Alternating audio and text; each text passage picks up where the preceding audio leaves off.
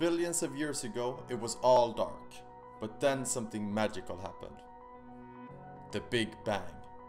Out poured the first building blocks of our world, hydrogen.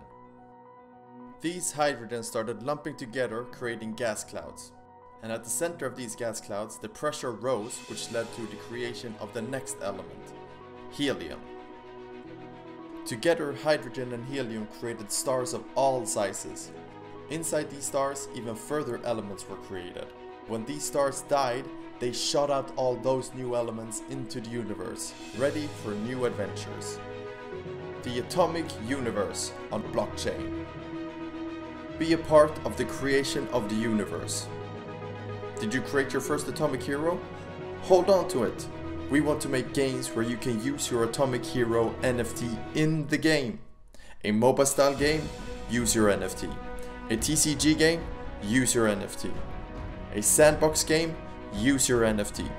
Your Atomic Heroes and Atomic Minions art collections would be used as catalysts for the Atomic Universe NFT collection.